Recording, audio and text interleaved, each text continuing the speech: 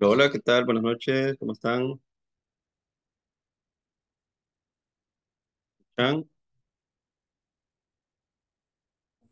Hola, Lee, buenas noches. Hola María, ¿cómo le va? ¿Todo bien? Todo bien, gracias a Dios. ¿Y usted Energía, qué tal? ¿verdad?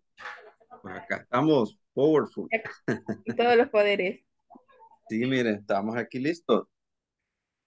Ahí Qué un bueno, me alegra mucho. un gusto saludarle, Gracias, bienvenida. Gracias. a, a la orden. Muy bien, como cada semana hacemos la, la dinámica de ir colocando la, la asistencia. Yo les agradezco siempre, cada día, muy valioso y felicitarles porque estamos ya en la sesión número 3. Así que un aplauso para todas y todos por haber llegado a la semana número 4. Eh, voy a ir saludando y cada quien pues colocar presente y si hay algún mensaje pues ahí vamos a leer ahorita alguna notificación especial. Seguimos con los saludos. Buenas noches, Pamela Michelle, un gusto, ¿cómo está?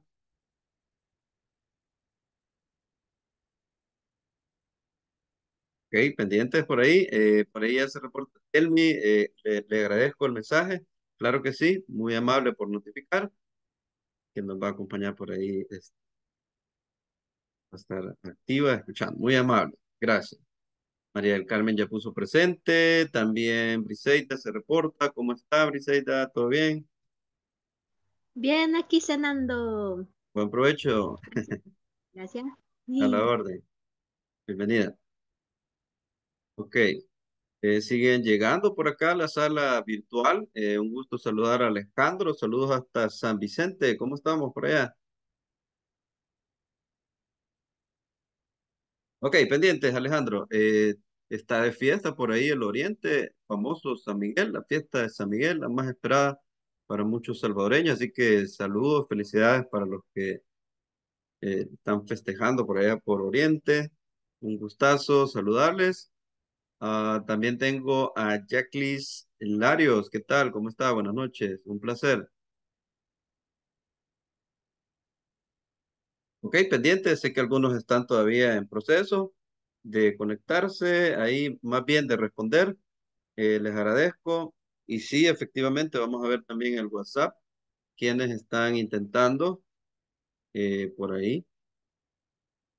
Y me, me extrañó que siempre mandan en la tarde el, el, el link, este, y no quisiera, digamos, re- replicar ese link. Yo sé que es el, el mismo y con todas las credenciales. Voy a probar, fíjense, porque yo sé que el enlace eh, es la, el mismo de sala, ya están las credenciales programadas y por eso no me había atrevido yo pues a, a reenviar ese porque siempre espero que me ayuden por ahí. Eh, es compartido porque ellos generan las credenciales. Entonces, vamos a esperar un ratito por acá porque atienden bastantes personas, ellos también, ahí eh, digital y presencial. Así que eh, vamos a estar por acá pendientes. Gracias a quienes ya pusieron hola, buenas noches, muchas gracias. Un placer, Pame. Eh, yo por estar pues acá en el, en el WhatsApp y la pantalla acá.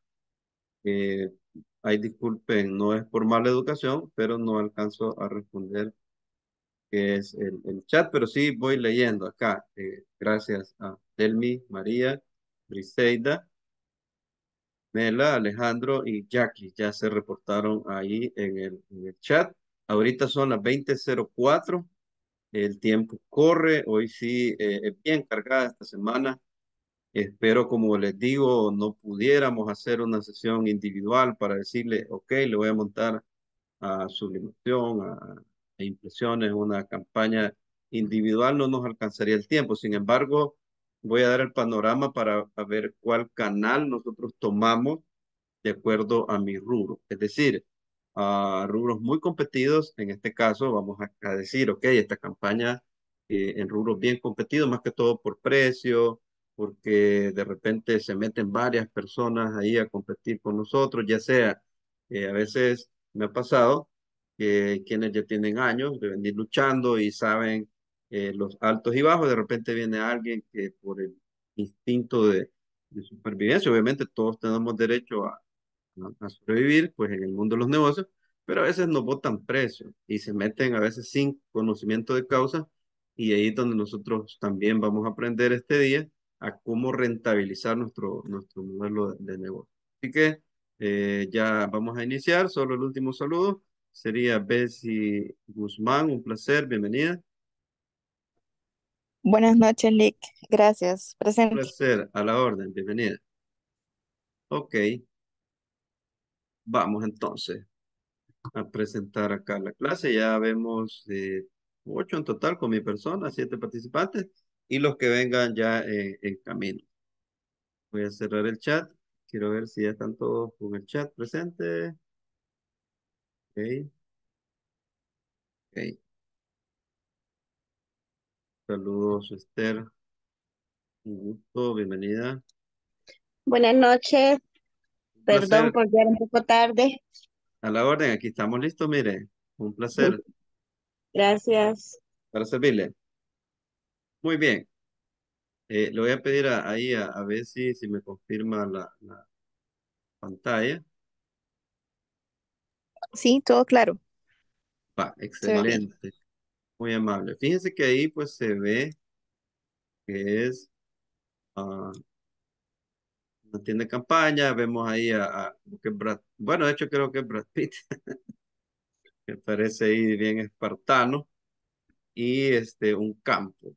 Quiero que analicemos pues las imágenes y nos demos cuenta que en esos tres escenarios se puede visualizar lo que es, digamos, la tienda de campaña que servía para soldados, para refugiarse, pero ahí vemos una pareja, es decir, están disfrutando un momento ameno y acá vemos un escenario donde hasta se ve en, en color tétrico, eh, una mirada desafiante de soldados y vemos un, eh, unos terrenos allá al fondo.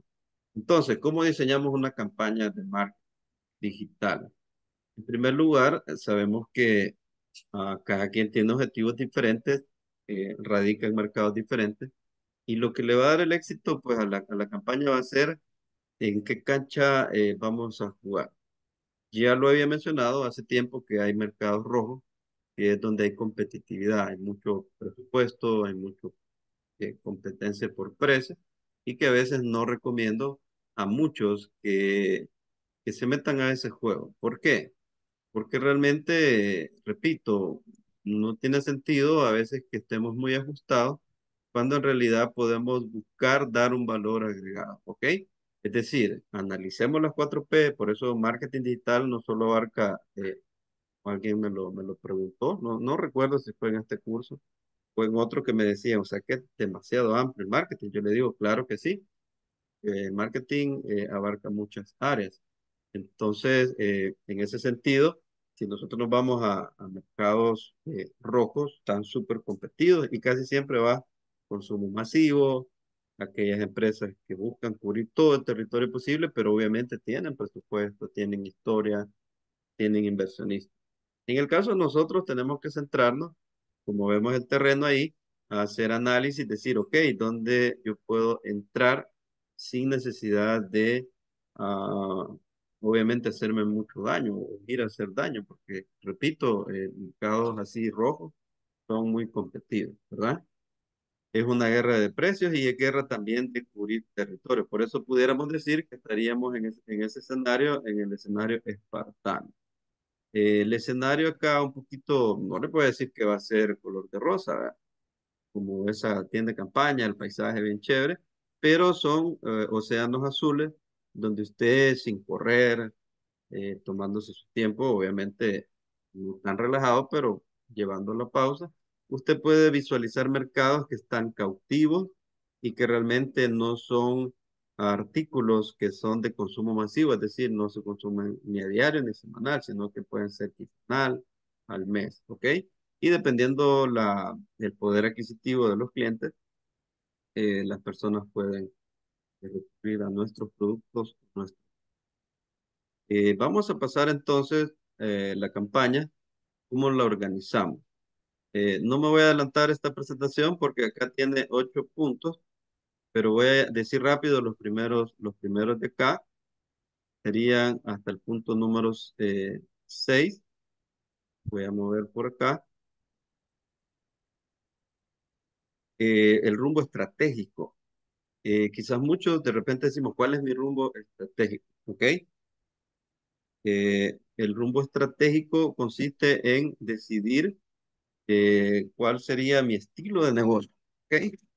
Podemos tener negocios tipo cultivo de, de, de maíz. ¿Cuál sería ese? Por ejemplo, aquel que es estacional, ¿verdad?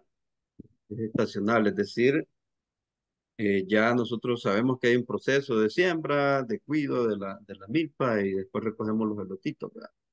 Pero hay otros que de repente ya tienen un rumbo estratégico más a largo plazo, ¿verdad? Porque, repito, toda empresa nace por tres cosas. Nace por la necesidad latente de supervivencia. Segundo, porque se presenta una oportunidad eh, en el negocio. Y tercero, porque realmente ya hay un espíritu eh, em, emprendedor que realmente la persona le lleva a poder este, emprender. Eh, veo que están pidiendo por acá. Yo voy a probar, fíjense, espero que, que sea el mismo, mismo enlace, espero no cometer un error acá. Eh, estoy compartiendo el WhatsApp, están pidiendo el, el, link. Entonces, vamos entonces. El rumbo estratégico, ¿hacia dónde vamos? ¿Corto, mediano o largo plazo? ¿Ok? Entonces lo tenemos que decidir hacia dónde vamos. Eh, hay quienes como están empezando, de repente van probando vivo, sobrevivo en este, en este emprendimiento, ¿ok? Eh, luego tenemos que ver cuál es el modelo de negocio que nosotros queremos aplicar. Eh, me voy a hacer bien rápido porque esta clase es bien pesada. me voy a adelantar acá al modelo de negocio porque hay dos cosas. El modelo Canva es cuando ya tengo definido mi modelo de negocio este es el modelo de los tipos de modelo que hay en todo el mundo. Eh, obviamente, el que es fabricante, obviamente puede tener un modelo eh, parecido a los vehículos o artesanías o productos industriales, etcétera. Él sabe que va a trabajar con perfiles de intermediarios, mayoristas, minoristas. El retailer es el que está como intermediario entre el fabricante. El retailer es aquel que compra pues, al mayor o al por menor o al detalle y los pone a la venta directa, ¿ok? Eh, la franquicia, muchos hemos visto, el modelo de franquicia es casi, uno puede decir, ah, solo está reservado a las grandes marcas. Usualmente sí, porque son costos bien altos de, inversión en, infraestructura, en el modelo de negocio, cómo se maneja la franquicia. Hay bastantes términos legales. Entonces, en esos primeros tres, uno va a decir, ok, ¿dónde estoy yo? No estaría en franquicia, tal vez pudiera estar en retailer, aquellos que compran al fabricante o le recompran a alguien que es intermediario en retailer, puede ser un retailer eh, minorista, ¿ok? Entonces, va a cambiar nuestras estrategias de marketing de acuerdo al tipo de, modelo de negocio que, que estemos, ¿ok? Ahora, ustedes van a decir, ¿dónde estoy yo? Hay distribuidores, es decir, que ellos solo se encargan de pasar la mercadería entre el fabricante y el retail, ellos solo distribuyen eh, al por mayor. Hay pequeños distribuidores, pero los márgenes son más ajustados. El e-commerce, hay muchos que venden solo en línea. Hay muchos modelos. De hecho, imagínense, Amazon vino a ser el líder. Es el, es el ejemplo a seguir en todo el mundo a nivel de Latinoamérica, Europa, porque ellos hacen todo ese proceso de fábrica, eh, prácticamente distribución y lo llevan pues al, consumidor final. Están haciendo daño pues a muchos retailers porque ellos directamente solo sacan del fabricante, distribuyen y lo llevan a la casita. ¿ok? Eh, luego pues tenemos el, el eh, quienes se dedican a la publicidad, por ejemplo Alejandro, él está mucho en esta parte, él puede estar en varios escenarios, puede estar como publicidad cuando las empresas, eh, digamos que fabrican la prenda, pero no tienen que quien les imprima los logos, no les, eh, que les imprima eh, lo demás, ¿verdad? Las tazas, etcétera. Ahora, creo que la mayoría estamos en este círculo que es bajo demanda, es decir, de acuerdo a las temporadas, así es la demanda de clientes, ¿ok? Eh, por ejemplo, turismo, el compañero Alexis, él está bajo demanda porque él lanza eh, sus campañas bajo oferta que él pone y ahí la, interactúa la demanda para poder el modelo freemium. Para muchos emprendedores lo aplican, pero les aclaro, el modelo freemium es cuando dan algo gratis con el objetivo de ir haciendo audiencia y poder eh, luego facturar. Obviamente ese modelo lo utilizan mucho las startups, startup dicen en algunos casos, eh, pero muchos pueden emprender eh, en freemium siempre y cuando sean cosas, lo que puedan ofrecer freemium, free es de gratis, pero gratis, pero con calidad, por eso se llama freemium. muchos pueden, creería yo que ahorita pudiera aplicar si un modelo freemium, siempre y cuando no dé algo tangible.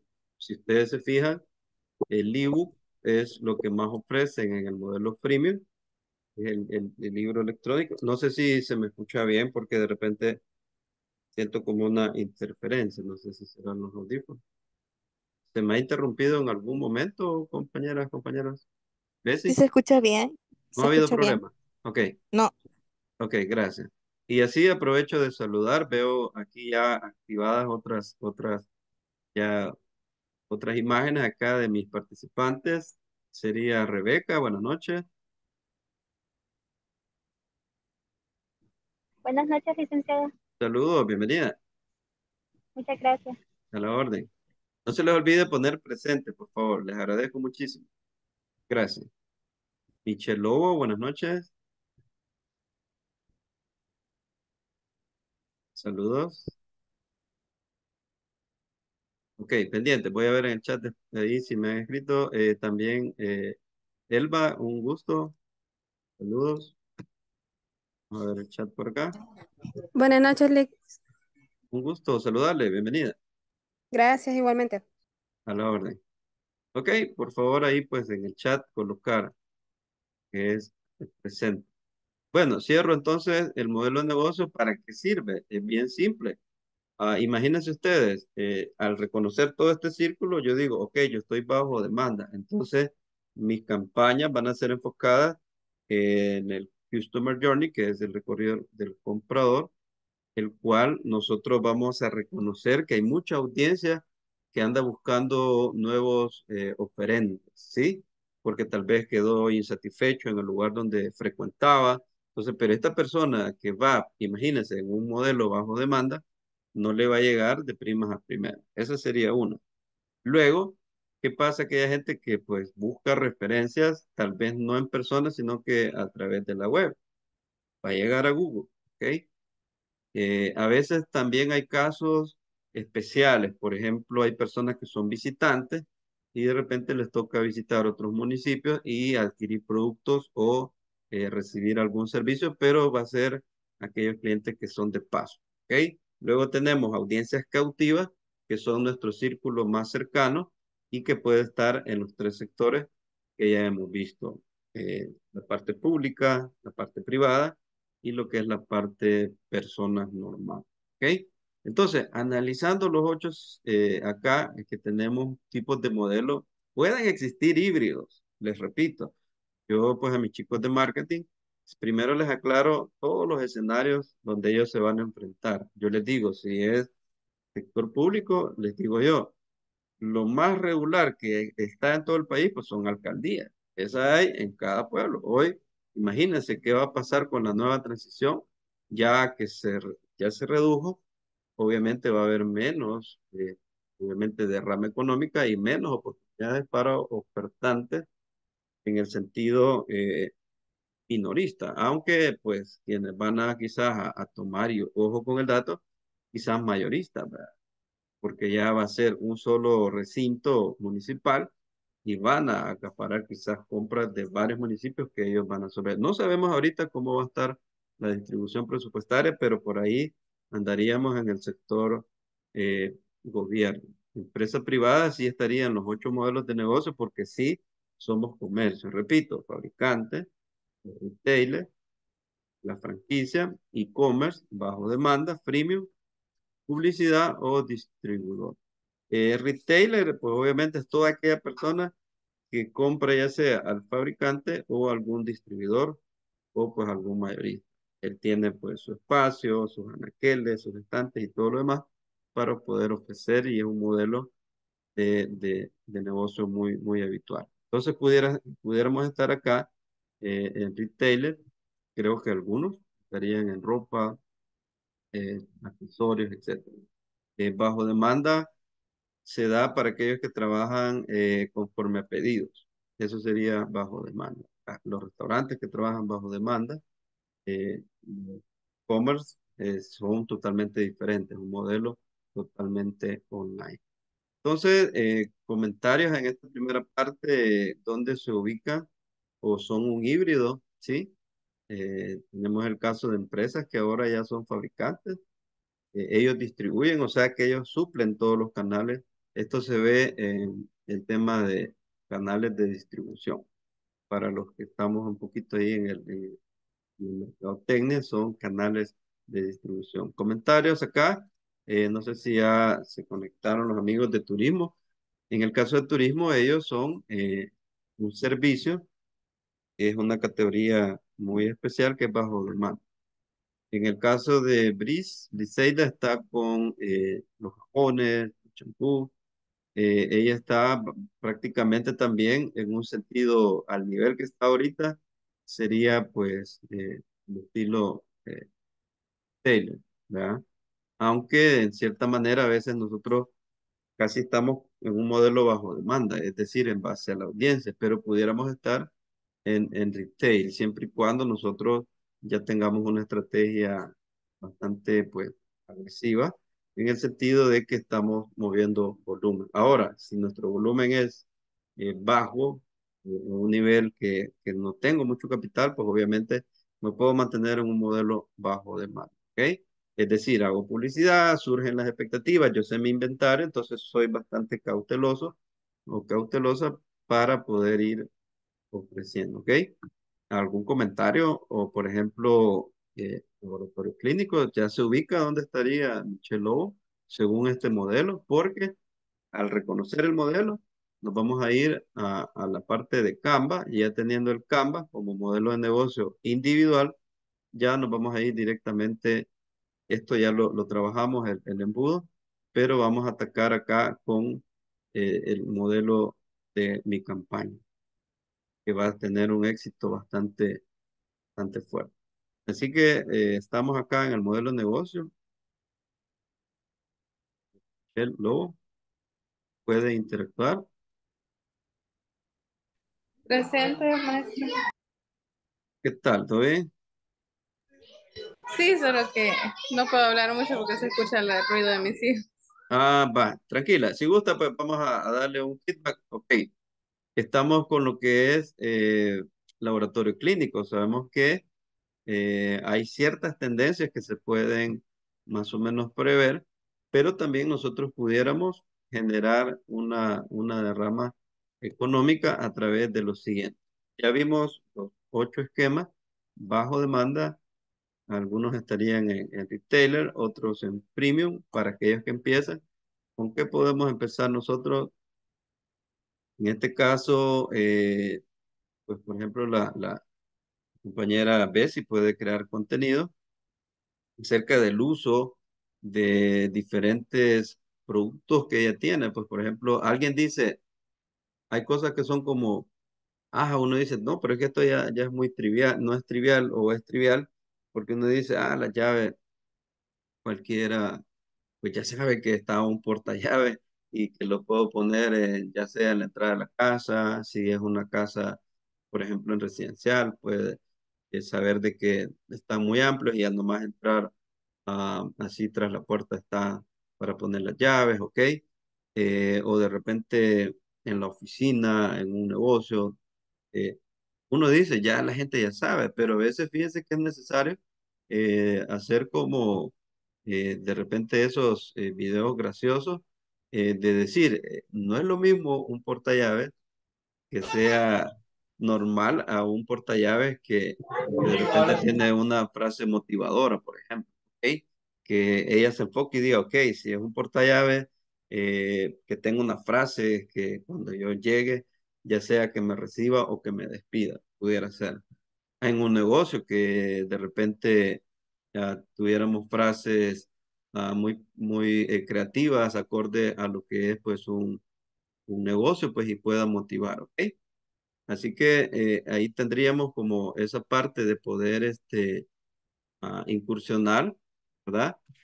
De poder incursionar en, en cómo yo darle un, un visto diferente aquellos productos que ya parecen eh, triviales, pero que realmente eh, podemos darle otro enfoque, podemos darle otro enfoque para poder nosotros hacer despertar ese interés en las personas, ¿ya? porque muchos pueden decir, ok, ah, podemos encontrar portallaves en ferias artesanales, podemos encontrar eh, en diferentes eh, lugares de venta, pero al poder hacer esos pequeños tutorios, esas, esas frases, esos tips, eh, ya la gente pues puede hacer en nosotros, hey, voy a renovar ese que tengo ahí porque me quiero sentir bien al salir de la casa. O en el trabajo, unas palabras de, de luchador, ¿verdad? o de frases que están ahí, ¿verdad? Entonces, podemos nosotros también generar una demanda, no esperar a que nosotros nos soliciten, ¿ok? Ahí sería una idea para, para la compañera. Al tener nosotros ya claro el modelo de negocio, eh, si esto lo hemos utilizado, nos va a servir para la campaña, saber quiénes son nuestros aliados clave para el tipo de, de, campaña. Por ejemplo, si estoy, eh, ¿qué es lo que hacen los fabricantes? Hoy esos fabricantes hacen muchas campañas, por ejemplo, de vehículos eh, mencionan que antes me recuerdo salía la marca, por poner un nombre de vehículo, de Nissan, y de repente decían, hacemos una alianza, aquí está, mire, aliados clave. Mencionaban que se habían unido con Aiwa, pues, que eran los que producían los CD player o, o el, el, sonido para los carros, ¿ok? O de repente una alianza con, eh, de repente, aliados clave. Por ejemplo, iba a ser el vehículo oficial de algún evento deportivo. Entonces, nosotros de igual manera podemos apalancarnos, ya sea que la marca sea famosa o sea nuestro partner, eh, hacer énfasis en eso, quiénes son nuestros aliados clave. Pueden ser proveedores, eh, en cierta forma, ¿sí? Aliados clave, pero también eh, podemos ver en el círculo, a mí me funcionaba mucho, y hoy está de moda, por ejemplo, los restaurantes, hablan de que cuentan con seguridad, con video, videovigilancia, cámaras y hacen alianzas con, con cierta marca para darle más prestigio. O que digan, contamos con estricta seguridad por la empresa tal, aliados clave. Entonces, ahí nos podemos apalancar para generarle a la gente una expectativa de lo que es eh, esa parte de aliados clave. Alexis no está presente, creo yo. Vamos a ver acá. Pero ustedes saben que siempre hablamos de turismo con él, ¿verdad? ¿Quiénes serían los aliados clave de él? Obviamente, pues él, mencionaba que hay, hay tour operadores que no tienen sus vehículos propios, entonces trabajan con una marca tal. Eh, o los destinos que visitan, eh, aliados clave, los hoteles, aliados clave serían eh, los sitios que ellos visitan, ya sean públicos o nacionales o privados.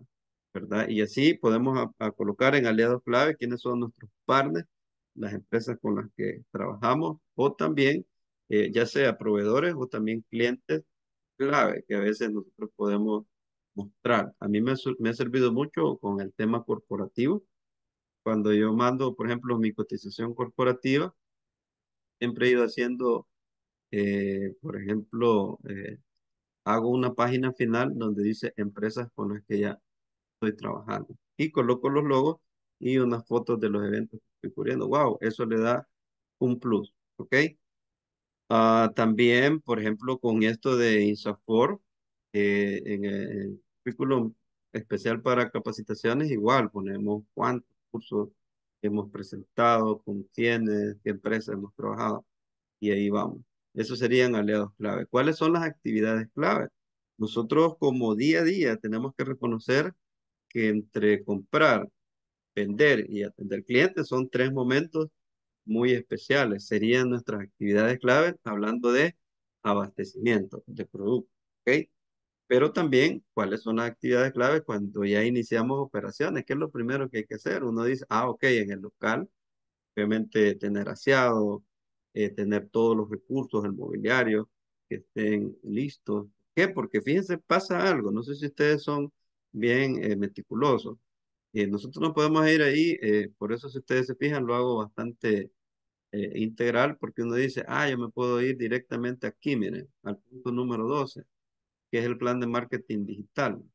Pero ¿qué sucede? realmente ahí hay un, hay, un, hay un problema, porque nosotros podemos montar una estructura, porque muchos me lo han comentado, me dicen, mire, pues que yo hago las campañas y pues me pagan dólares y chévere, vendemos bastante, pero si ustedes se fijan, yo voy un poquito más profundo porque les digo, ¿de qué nos sirve ser un pavo real en el cual se muestra el pavo muy bonito de frente cuando él expande su bola? Ya algunos hemos tenido la oportunidad de verlo en vivo y poderoso, brilloso, ok, pero ¿qué pasa detrás de esa colita cuando ya le tomamos una fotografía un poco atrás? Por eso yo tomo este tiempo extra como un valor agregado que yo doy no solo para inglés corporativo, a INSAFOR, sino que a ustedes, eh, pues mis emprendedores y emprendedoras o empresarios, empresarios, donde les digo yo, siempre hay una radiografía.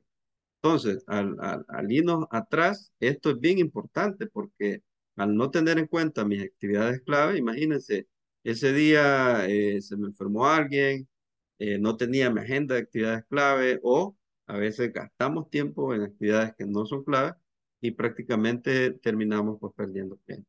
De igual manera, los recursos clave. Al no saber en qué invertir, qué mobiliario invertir, qué mercadería realmente invertir, que son recursos clave, obviamente eso, eso genera un problema. Y ahí tenemos el diamante, que parece, al tener esto, aliados clave, muchos de repente van descuidando eh, porque se enfoca solo en la venta, es decir, vender, vender, vender, vender, vender. Pero ¿qué pasa? Eh, a veces nos, no sé, de repente un proveedor se nos va y tal vez ahí teníamos la mina de oro. Y yo tengo mi propuesta de valor, pero si no tengo ese leo clave, a veces eh, nos pasa como pasó en la, en la pandemia, que de repente muchas empresas eh, ya no se pudieron reinventar porque tenían modelos que ya estaban atados a lo que era eh, lo, lo, normal, ¿verdad? Estar, y obviamente muchos también sin querer, ¿verdad? tuvieron pues que fracasar porque ni modo, pues se, le detuvo que era el ingreso. Ahora, hago un paréntesis. Me gustó mucho ver empresas, empresarios que sí, sí se vieron detenidos y de repente les tocó hacer un plan B, un plan C. O sea, se les frenó la actividad comercial normal y tuvieron que hacer otros emprendimientos de acuerdo a la coyuntura, ¿verdad? Eh, hubieron problemas, obviamente, algunos quizás no legales, pero que de repente no era el giro, le tocó vender le tocó vender eh, botas, no sé, hubo de todo, pero al final era un momento que sálvese quien pueda.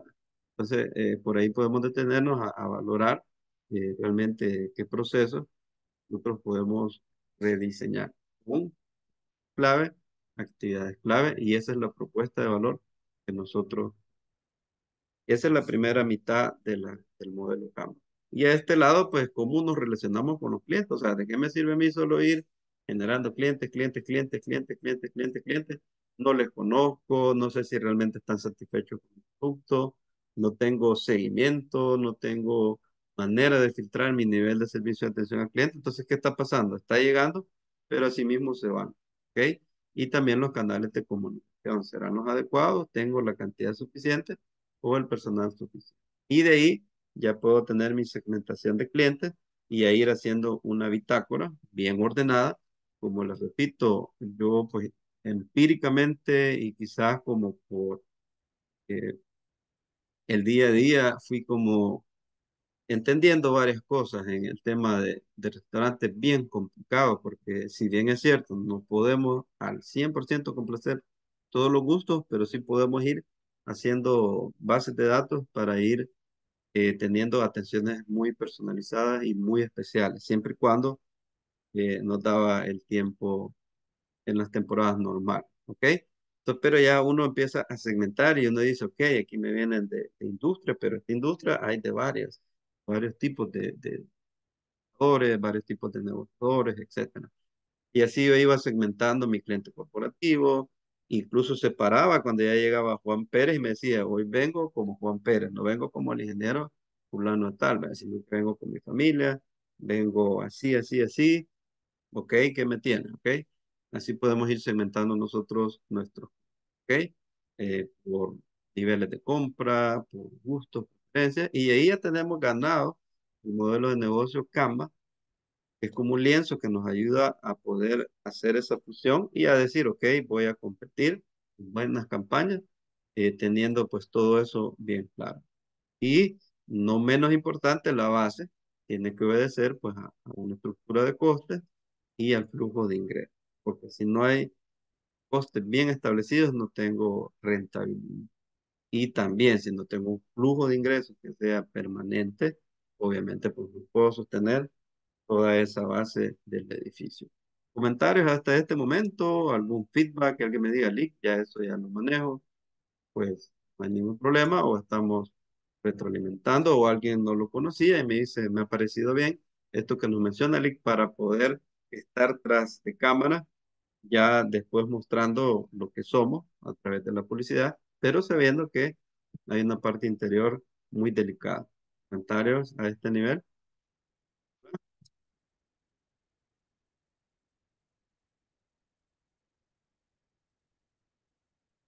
Una valiente, un valiente. Alejandro, no sé si ya puede interactuar por ahí. Y que estaba en movimiento.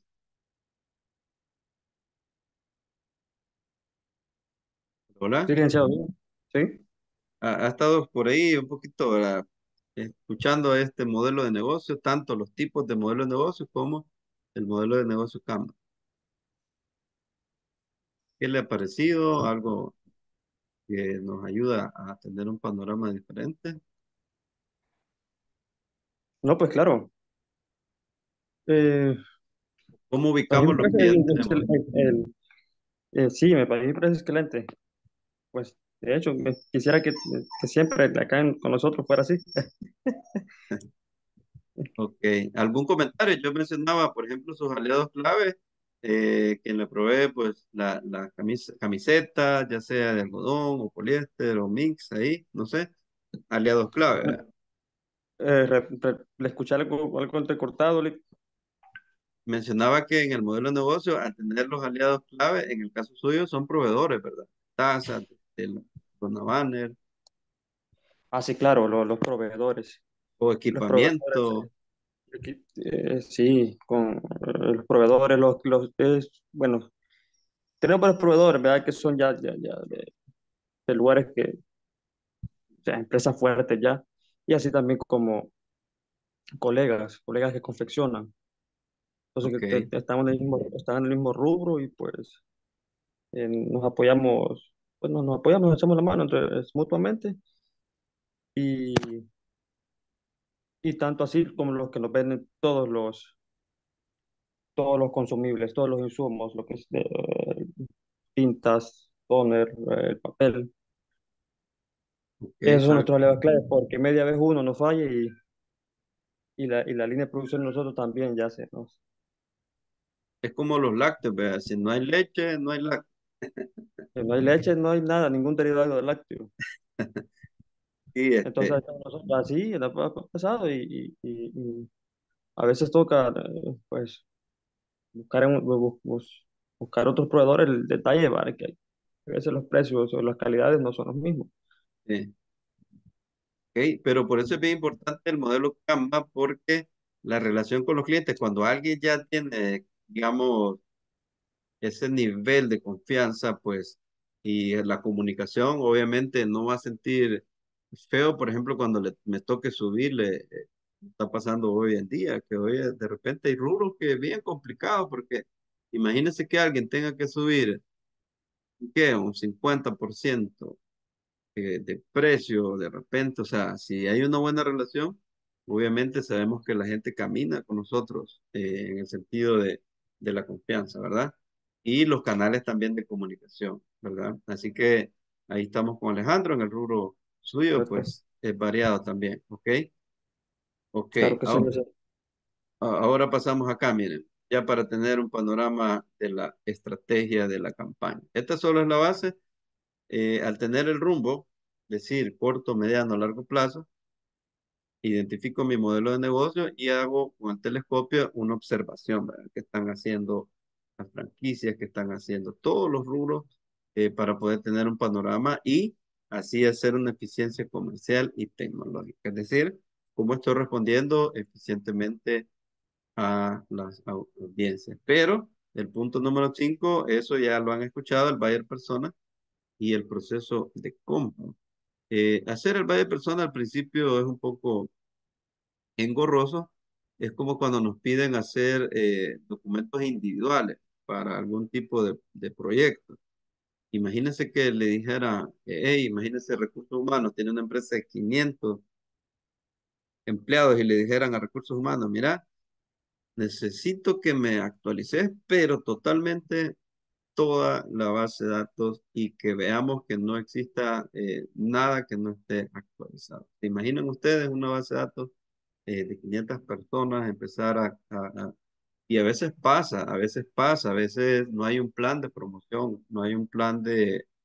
Eh, estoy hablando internamente de las empresas, más que todo compañías grandes, entonces la gente se le está estancando el talento, porque no hay un plan de, compensación, no hay un plan de, de, incentivos, ni por supuesto de crecimiento. Entonces, eh, igual pasa con el buyer persona. Imagínense que un cliente que de repente llega un momento que ya dice, no, pero que no sé si les ha pasado, está bien, claro, que uno dice, no puedo andar regalando todo el tiempo, pero al menos dar incentivos de acuerdo a mis posibilidades y eso la gente lo valora mucho, ¿verdad?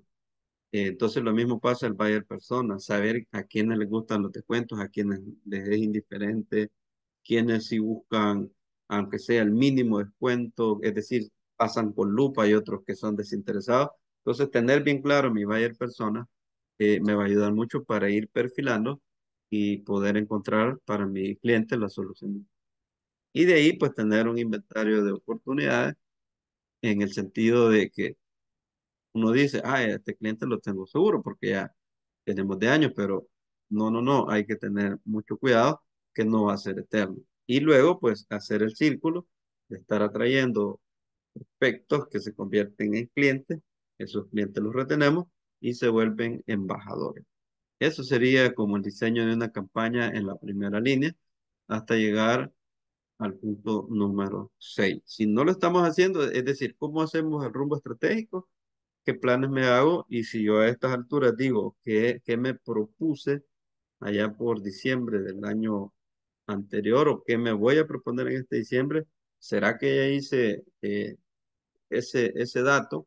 ¿Ok? Es decir, ya hice mi inventario, qué oportunidades aproveché, qué eh, oportunidades no aproveché, o qué oportunidades se me escaparon de las manos, eh, etcétera, o qué oportunidades fracasamos. ¿Será que tengo ese inventario? Eh, cada fin de año, eh, analizo mi valle de personas si realmente me va cambiando por las tendencias, porque en todos los lugares va cambiando, más ahora con las nuevas generaciones, pues van cambiando totalmente súper raro. Pero ¿será que yo tengo mi valle de personas para esos que ahorita quizás no los atiendo, pero que ya están ahí formándose para ser futura fuerza laboral o que ya son, pero que a veces no los hemos logrado entender por no hacer un benchmarking, ver qué están haciendo las nuevas generaciones, cómo son los hábitos compra que vienen esas futuras generaciones. Y cerramos acá eh, porque nos vamos a plantear nosotros eh, los objetivos digitales. También los presenciales, obviamente. Pero digo yo, pónganse objetivos eh, pocos, pero de calidad. ¿Sí? Así como lo típico, un mal hábito que quiero dejar, un nuevo hábito que quiero aprender. Eh, o sería que costos dije que iba a bajar y no lo bajé y me está comiendo presupuesto para no poder invertir en nueva tecnología. ¿Ok? ¿Ok? Hacer ese análisis. Objetivos digitales sería en posicionamiento, cómo estoy desde hace un año, ¿será que he estado dando seguimiento? ¿Cuántos seguidores me crece al día, a la semana, al mes? y por qué han llegado. ¿Será que solo fueron like? Ni siquiera he investigado, porque esto está en la parte del benchmarking que está aquí. En el punto número 3 está observando de dónde me están siguiendo, si fue solo emocional, si fue circunstancial, alguna campaña que me hizo tener esos nuevos clientes. Entonces, objetivos digitales, ¿cuáles serían los más básicos? Sería posicionamiento, es decir, estar arriba de los de mi sector. Ese es posicionamiento. El branding, que la gente identifique, eh, como les dije, más que mi logo, mi marca, cuál es mi propuesta de valor. Esos serían objetivos digitales muy, pero muy más que básicos, fundamentales. El tercero, tengo un plan de crisis, cómo atiendo la crisis. Yo, malos comentarios, los haters, o personas que solo comentan ya como por moda, de hablar cosas malas, sin tener argumentos, y a veces uno lo va ignorando. ¿Y qué pasa? Si yo no me defiendo con una manera ética, lo que puede pasar es que mucha gente lo va a tomar como que, ah, es cierto lo que están diciendo. Entonces, por eso la gente muchas veces, hay quienes que no se complican, lo bloquean. Pero no recomiendo eso, mejor ser un poco más eh, éticos y, y, también hacerle ver a la persona que está en una postura no muy correcta. Esa es una tercera objetivo digital. Y, y la otra sería eh, la parte también de cómo eh, estoy yo a nivel de, de, de prestigio, es decir, de estatus en mi, en, mi, en mi rubro. Es decir, uh, cómo me, me pueden percibir las personas, pero cómo ya me están percibiendo lo que me están comprando. Eso sería como los más, los más básicos. ¿Ok? Y campañas, como repito, lo dije la semana pasada, eh, hablamos de impresiones por mil, ¿verdad? Que estamos haciendo mucho posicionamiento. El costo por clic, decíamos, cuando son campañas optimizadas y el costo de adquisición de los clientes. ¿Cuánto invierto en, en publicidad? ¿Cuánto me retorna? El punto número 8, proceso comercial. Eh, a veces uno dice, ah, yo quiero tener tantas ventas más. O sea, a veces uno se cuantifica, está bien, uno dice, ah, quiero vender eh, tantos dólares, pero sabe que para eso necesita saber su proceso comercial y su estructura. Es decir, ah, si usted hace logística y no tiene vehículo propio, sabe que va a pagar más flete. O sea, por cada decisión que tome, objetivos digitales, pero también hay que ver el proceso comercial y su estructura.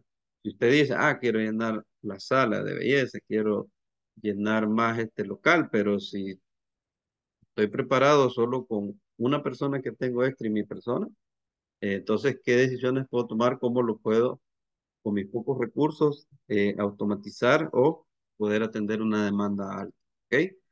Tecnología, ¿será que ya es necesario invertir en nuevas tecnologías? ¿Como cuáles? Ah, no sé, se me ocurre cada quien en su rubro qué le puede incorporar. Siempre y cuando, repito, vuelva al punto número 8, si ya le da la estructura comercial para invertir. Por eso les decía en la parte de arriba, eh, si nosotros vemos la eficiencia comercial, qué costo reducir para aumentar un poquito en tecnología, porque a veces podemos creer que estamos invirtiendo en tecnología cuando en realidad solo estamos invirtiendo en costos. Por ejemplo, alguien dice, ah, tengo computadora y le he puesto el internet de última generación y etcétera. Pero ¿qué pasa si no tengo una automatización? De hecho, hay empresas de software que le optimizan el corte de, de, de, caja, le optimizan la cantidad de tickets emitidos, le optimizan, de hecho a mí me tocó en, en, en, tesorería eh, trabajar con una empresa de software porque eh, la administración con la que me tocó trabajar invirtieron mucho en varios aspectos. Pagaron consultores, eh, pagaron eh, desarrollos de software. ¿Por qué? Porque una de las cosas que una municipalidad vuelve lento los procesos es que se hacen cosas a mano, ¿verdad? Y eso es muy tardado. Imagínense, nosotros podíamos estar entre presupuesto, catastro, tesorería, estar tomando decisiones, y yo sí me gusta trabajar mucho en equipo, y, logramos buenos objetivos porque utilizamos la tecnología a favor de la eficiencia municipal. Es decir, en tiempo real nosotros podíamos ver pues eh, que, se estaban emitiendo, ya sea por empresas, fuera por eh, ciudadanos, de qué zona, eh, porque siempre he sido muy dado esta parte de la, del territorio, es decir, saber dónde está nuestra fuente de ingresos. ¿Por qué? Imagina, más en pandemia, nosotros teníamos que anticiparnos a tener ya recursos óptimos y cómo nos tocó digitalizarnos. De hecho, tuvimos que lo que, al menos yo llegué casi a cerrar una administración y ya tenían dos años de operaciones y nos tocó correr con procesos que tenían atrasados porque se optimizó todo. Es decir, a transacciones que se tardaban, imagínense, perder una mañana para estar en un banco, para pasar fondos de una cuenta madre a 90 cuentas, eh, digamos, eh, de manera manual eh, y hacer, o sea, muchos procesos de manera manual. Entonces hicimos una alianza ahí con un banco de manera que lo digital no hubo que invertir nosotros, aparte de la empresa de software, que solo nos daba todos los, los datos de dónde eran las empresas, de dónde facturaba, se facturaba más, etcétera. Obviamente también la banca nos tenía que ayudar a poder agilizar esos procesos, pero era cuestión de voluntad, pero también cuestión de, de esto. Entonces, ¿qué tocó? Eh, eficientizar la parte del presupuesto y bajar en aquellas áreas donde se podía bajar y obviamente pues invertir en la parte de, de poder captar más. Y ahí los últimos tres, eh, ahí creo que ya está cubierto, inversión y cómo se distribuyen los, los, las inversiones en cada área. Eh, yo creo que ahí sería cuando son equipos pequeños, eh, sí es importante que ustedes hagan esta parte de reuniones. Uh, vaya, por ejemplo, el compañero uh, de, la, de la parte de imprenta, estar viendo eh, la optimización pues, de, de, limpieza de, equipo, eh, o si de repente se puede invertir en una máquina que pueda darnos mayor volumen, etcétera. Él ya sabrá lo mejor y lo sabe mejor que yo porque él está en ese rubro, pero ahí va de la mano inversión y la parte de distribución. ¿Y qué consejo le daría en esto de business case? Esta es una forma de que cada quien háganse una tarea eh, de poder hacer casos de estudio del rubro que ustedes están, quienes ya han sido bastante exitosos eh, y también nosotros hacernos un autoestudio. Por cierto, eh, muchas instituciones hacen eso, tanto un estudio de, de éxito o un business case, un caso de éxito de negocio afuera, pero también de adentro. Es decir, veámonos de aquí, en un año, dos años, tres años, qué data tenemos como para decir, ok, aquí podemos tomar decisiones estratégicas para ver dónde estábamos y qué podemos nosotros eh, ir mejorando. Yo, por ejemplo, lo, que hice fue hacer un benchmark, que está el punto 3, de, en aquella época de restaurantes que eran como nuestra competencia, eh, en qué estaban, eh, por ejemplo, dónde estaban comprando los ricos,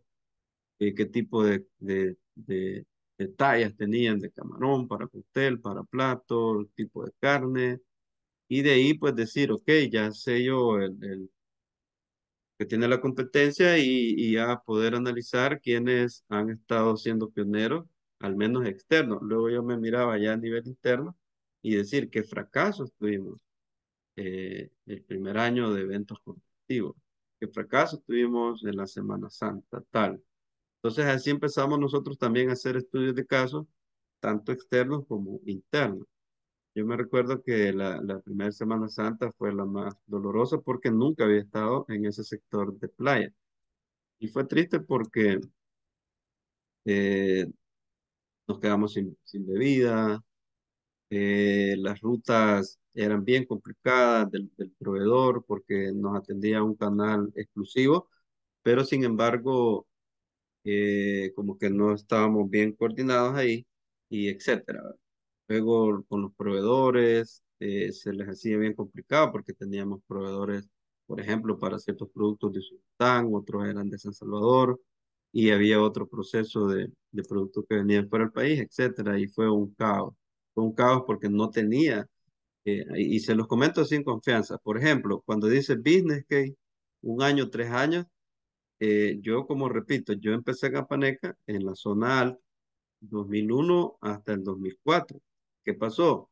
El 2005, que fue nuestro primer año, obviamente ahí no conocíamos la zona y aunque habíamos analizado, digamos, eh, la, la, playa, la, invertimos pues en playa y todo, no había un estudio de caso interno para poder saber la proyección de gente que iba, iba a llegar. No teníamos datos, lo que yo mencionaba del marketing demostrador, no teníamos datos internos para saber más o menos las proyecciones. Sin embargo, ya al haber tomado toda la, la data, a, que ya eh, vio de un fracaso, entre comillas, pues obviamente pues empezar a, a reestructurarnos y hacer un plan de marketing ya para el 2006, en el cual eh, ya por lo menos teníamos una proyección eh, más o menos estimada de, inventario de bebidas, licores, cerveza, soda, eh, bebidas preparadas, mariscos y todo. Entonces es bueno que ustedes hagan un ensayo para los que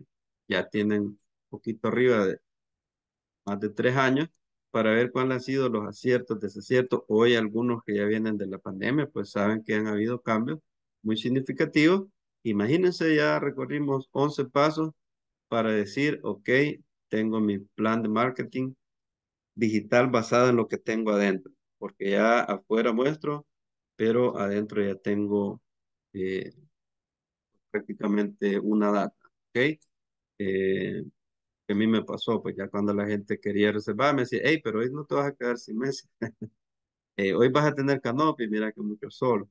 O hoy sí vas a tener concha, eh, no sé qué, pero ya la gente que le comentaba, pues se le decía, sí, mire, ya tomamos acciones y lo prometido deuda, vamos a estar preparadísimos para lo que es el año 2006 y así yo estuve hasta el 2010. Obviamente siempre cada año se prende algo, algo nuevo, nuevos clientes, nuevos problemas y pues ahí tenemos lo que es el, el cómo organizar una campaña eh, para, cada, para cada temporada. Eh, quisiera nada más escribirles unas palabras que son con las cuales era la motivación, ¿verdad? Y eso eh, lo anotan, por favor. Porque eso se ve mucho en redes sociales. Es decir, ahí va el ethos,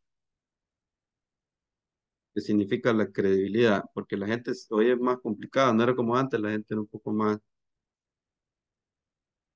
más condescendiente. Hoy sí nos meten ahí nos acaban ahí en redes sociales. Entonces, esto era la credibilidad. Es decir, antes usted le dice, sí, mire, no se preocupe, le vamos a tener el producto. eh, imagina, no tenía Facebook, estoy hablando de 2005, 6, 7. Todo era por llamada telefónica, los comentarios de la gente. Esa era la credibilidad, la credibilidad que es el ethos o la ética. Ethos es ética también, eh, la credibilidad. El pato son las emociones. Jugamos con las emociones nuestras, pero también con las emociones del público. ¿Ok? Y por último, pues el logos, que es la razón. Ok. Y le estoy escribiendo. Dario, por favor. Bessie, ¿cómo estamos? Ah, Oliap, ¿cómo, ¿cómo estamos ahí? Ya tomando bastantes insumos, ¿verdad? Sí, perdón, Lick, estaba copiando lo que estaba escribiendo. Ah, ok. Entonces, ahí estamos. Eh, estos es la ética, o sea, eh, uno puede fingir en redes sociales, o sea, podemos montar, como repito, la mejor sesión de fotos, el mejor video, pero realmente ese ethos es la, credibilidad eh, en el discurso, realmente me lo va a dar las personas cuando yo les prometo algo. Como repito, es, sí lo podemos prometer en papel, en, en, en Excel, nos podemos prometer a nosotros mismos metas o en Word, etcétera, pero realmente los resultados están ahí, eh, los clientes van a percibir, ¿ok? El pato es las emociones. Eh, lo voy a poner aquí como extra. Alegría, esa, enojo. Eh, esta les va a dar risa, pero el asco es parte de las emociones. Eh, a veces hay cosas, eh, casi se asocia, como aquí van todos los sentidos, alegría, tristeza, enojo, asco, sorpresa. Y repito, hay sorpresas positivas y negativas. Así que ahí tenemos el patos, alegría, tristeza, enojo, asco, sorpresa y el miedo, ¿ok? Todas esas van a tener su antónimo. El pato es decir, cómo trabajamos nuestra alegría y la alegría de los clientes. O sea, la meta es tener clientes alegres. Pero ¿qué pasa cuando tengo clientes molestos, enojados, tristes? O alguien, eh, los que estamos en gastronomía, sabemos perfectamente una comida mal preparada o un olor que algo que está vencido, etcétera, es, eso da asco. No digamos la sorpresa, pues, de, de, recibir un plato que tiene buena imagen y de repente se lleva la sorpresa que se ve bonito, pero sabe mal. O el miedo tanto eh, de afuera hacia adentro o de adentro hacia afuera. Tenemos a veces personal eh, que tiene miedo, a veces encarar a los clientes, o nosotros mismos tenemos miedo de encarar a los clientes, o miedo a hacer cosas nuevas, a hacer cosas diferentes, o por falta a veces de fondo, y yo digo, y si lo hago, y si fracaso, voy a perder esto, eh, o te emprendo, o si meto este nuevo producto, creo que lo que nos va a hacer más que toda esta parte del pato es la parte de logos, que es también, eh, lo voy a escribir acá, el logo, entra la razón, pero también significa eh, la parte comprensión, ¿verdad? Del entorno, pero también nosotros mismos tenemos que ver cuál es la parte de, de la razón que vamos a nosotros a oír, y eso es lo que es la, también la parte de la palabra, es decir, eh, la palabra que damos. Eh, eh, Bessie me comentaba que estaba tomando apuntes. ¿Cómo le ha parecido esta sesión esta noche? No, siempre eh, aprendiendo algo nuevo, Ok, y- echándome toda la bolsa no alcanza. Yo quisiera, créame, que a veces uno tiene este tipo de, como los padres, algún tipo de, no se va a acostar como aquel meme que sale de ¿verdad? que está pensando en algo y, y pensando cosas, ¿verdad? creo que ya lo han visto, está en la almohada. Y yo a veces así me acuesto y digo, eh, qué, qué bueno podemos dar a, a, los públicos, a ustedes, que no desearía poder tener eh, más que todo algo personalizado, pero he tratado de ser general para cada quien, ¿verdad? Labor clínico, cómo podemos hacer todo esto, porque casi, casi raras veces, a veces se, se, se, se hace, pues, y quizás en la misma frustración del día a día uno va aprendiendo muchas cosas. Por ejemplo, yo cuando eh, pude encontrar esto, esto ya se ve armado, pues, pero uno con los golpes de la vida, eh, de repente yo me acuerdo, decía, ¿y para dónde vamos? Pues será que uno lo primero que dice al, al jefe, va, "Eh, no, hombre, será que eh, venimos a mal lugar o no sé qué. A veces uno dice que son las circunstancias, no son las circunstancias, sino que es ver dónde estamos parados y cómo podemos tomar decisiones, ¿verdad? Que para Aoleab le auguro pues mucho éxito. Usted está tomando bastantes apuntes. Tengo de diferentes rubros. eh, tengo de turismo, de impresiones, belleza, eh, salud. Entonces, eh, la compañera que está ahí también en Metro Galerías, eh, está ahí en el día a día, ¿verdad? Con los clientes. Cada quien está en su escenario, pero esto les va a servir para decisiones estratégicas para el 2024. Que eh, del 1 al 10, Bessie, ¿cómo le ha parecido? 10. Muchas gracias. ¿Alguien más? Eh, comentarios, porque esto nos ayuda, ya sea algo positivo, algo interesante o algo negativo de la sesión de hoy, 27 de noviembre. Algunos me escribieron que no podían contestar, pero alguien que quisiera expresarse acerca de la sesión de ahora, Jocelyn y Samal.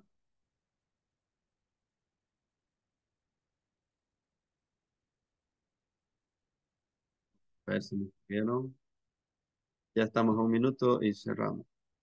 Él le dice, muchas gracias por la clase, le agradezco muchísimo. Eh, algunos yo sé que ya se tienen que retirar, pero acuérdense que nos cuentan los 60 minutos desde el momento que activamos. Yo estaba creo que faltando tres para las nueve. Siempre es importante unos minutitos, siempre que no tenga curso adicional, porque a veces me ha tocado de 9 a 10, ahorita estoy, estoy libre. Y si gustan, pues me escriben a alguien si tiene alguna duda eh, sobre su negocio, con gusto podemos ahí retroalimentar. Así que Pamela agradece, no sé, Glenda, Rebeca, algún comentario y cerramos. Ya estamos 21.05. Pues Liz, ahorita no, nada, estaba bien claro en realidad. Ok, Los objetivos y la forma como lo he explicado está súper bien. ok, tenemos ya nuevas directrices, ¿verdad? Para estrategia. Ok, Bueno, nos quedamos por acá. Les agradezco al mil su perseverancia. Ya solo nos quedan tres sesiones. Cerramos el jueves 30, si Dios nos da vida y que tengan pues un feliz descanso, una feliz noche. Nos vemos mañana. Bendiciones. Feliz noche. Buenas Gracias, noches, Lick. Buenas noches. Gracias, Esther. Saludos, María. Bendiciones. Feliz noche.